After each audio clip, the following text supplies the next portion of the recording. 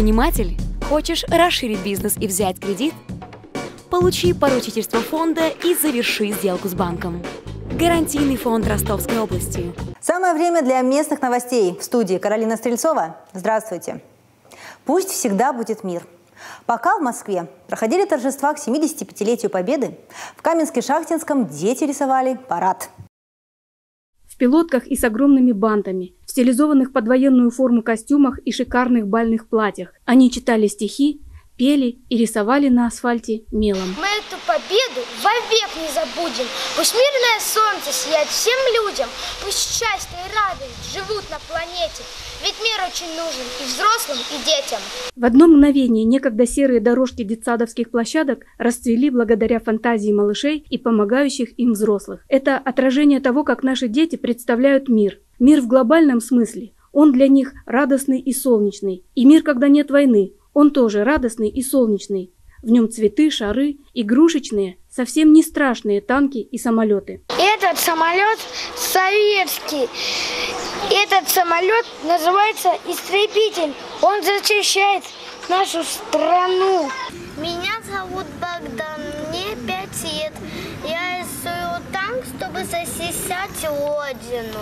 Разноцветный мир этих детей и защищали прадеды чтобы они могли вот так, беззаботно, непринужденно, с детской непосредственностью рассуждать о том, чего не видели и не знают. Но, заметим, и эти маленькие россияне каким-то невероятным чутьем угадывают, что выученные строчки про войну – это важно, что все это нужно, что все это их история.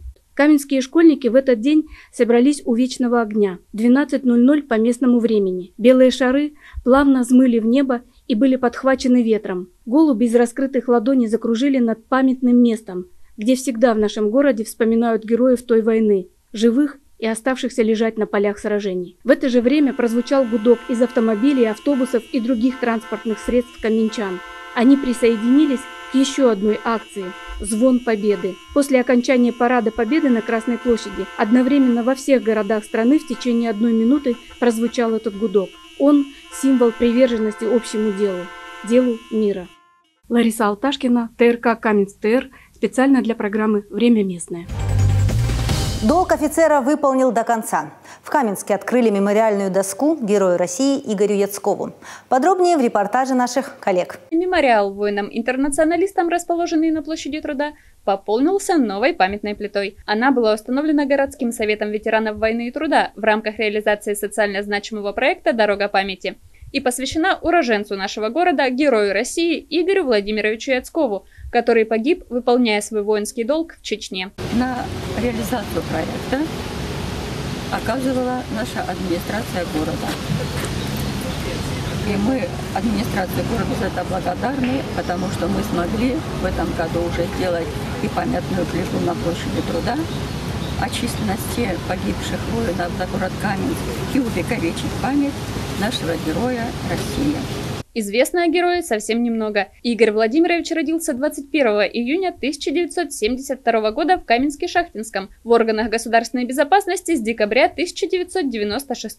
Последний бой капитана Яцкова состоялся 11 января 2000 года в Чеберлоевском районе Чечни. Информацию тяжело по нему было добыть, то, что он служил ФСБ контрразведки.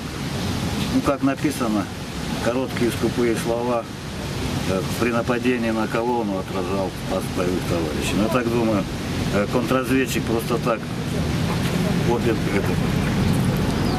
медаль Героя России не, не получит. Это была очень большая, наверное, операция. Я думаю, погиб он не, не просто так, защищая товарищей. Да. Лица родственников я, конечно, хотела поблагодарить администрацию и всех тех, кто занимался и поисковой деятельностью, и тех, кто воплощал память вот в этот э, памятник, который мы видим. Э, да, конечно, мы не узнаем там правды, возможно, никогда, но это важно не только для родственников, это важно для нашего подрастающего поколения, и чтобы они поняли, что мы должны себя вести так мирно и так строить политику государства, чтобы таких погибших было как можно меньше в наше мирное время. Елена Письменская, ТРК Каменск ТР, специально для программы «Время местное». А в Донецке представители местной администрации и городской думы пришли в гости к ветерану, узнику концлагеря. Свергун Иван Калиникович родился в 1927 году. Когда началась война, ему было 14 лет. Он рассказал историю о том, как война постигла его жизнь, о том, как побывал в плену и был на грани жизни и смерти. И там лагерь, концлагерь. А, завезли нас туда и написано, смотрим, вышки там, а, четыре вышки кругом, значит, и наблюдают с автоматами. И написано на воротах – «Добро пожаловать», по-русски написано. Приходили покупать нас. Один, значит, шеф приехал и забрал нас. 75 человек купил.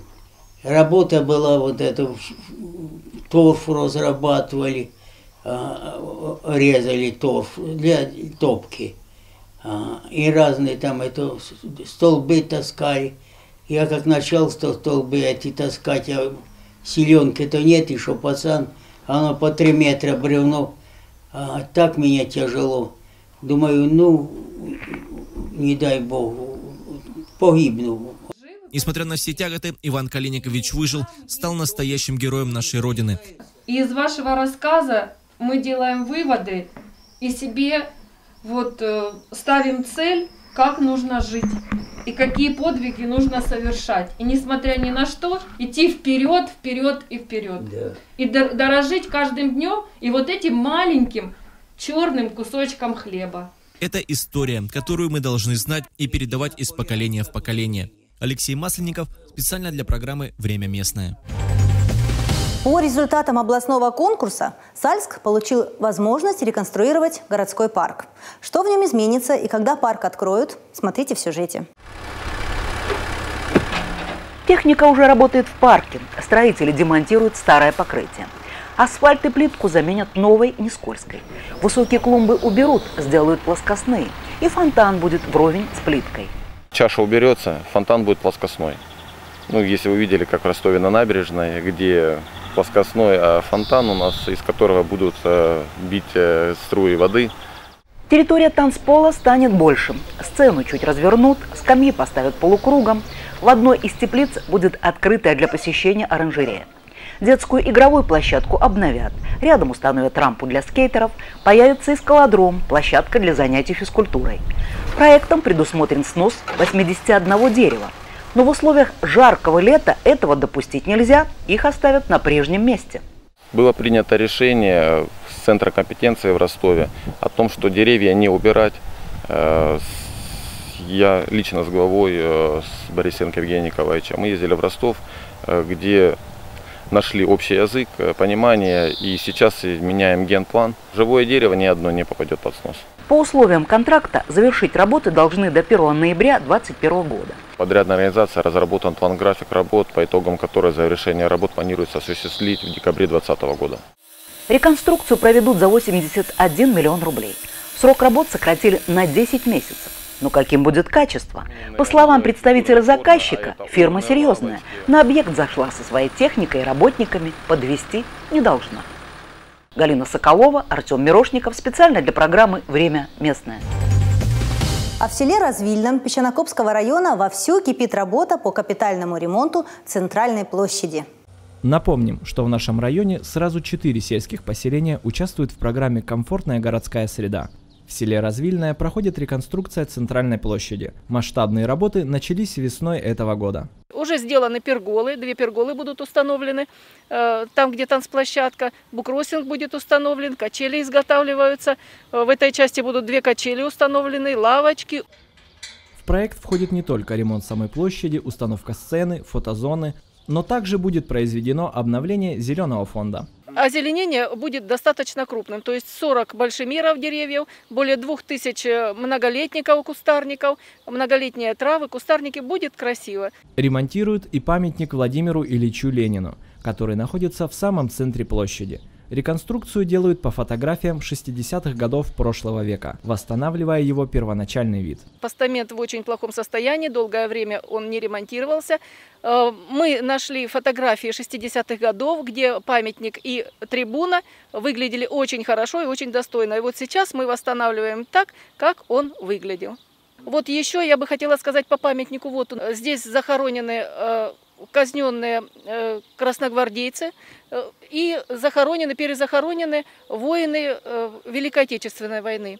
То есть сейчас этот комплекс в стадии реконструкции будут установлены надгробные камни в тех местах, в которых люди и похоронены, то есть это ничего не забыто, все будет сделано. Поставим также с фамилиями плиты, чтобы было видно, кто похоронен, за что, э, при каких обстоятельствах здесь это было. По новой площади жители и гости села смогут пройтись уже в этом году. Работы полностью должны быть завершены до 1 декабря.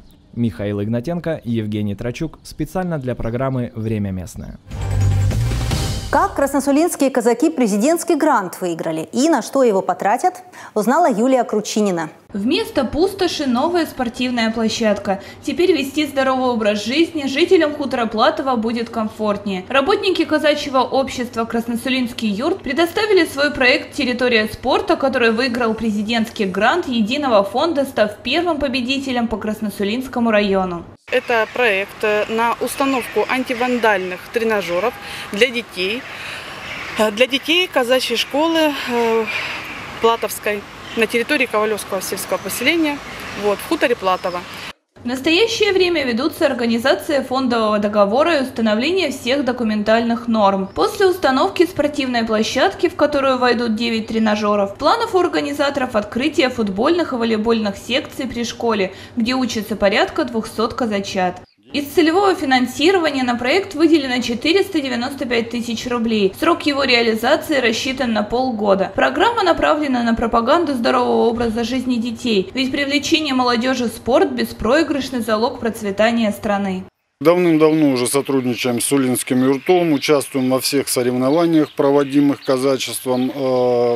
Потом э, ну, у нас довольно большая школа, у нас 200 детей прекрасных, которые достойны э, этой площадки. Реализуя указы президента, наконец-то мы э, будем находиться в равных условиях с городскими детьми. То есть, наконец-то и на село пришло то, что того, чего давно мы ждали, скажем так.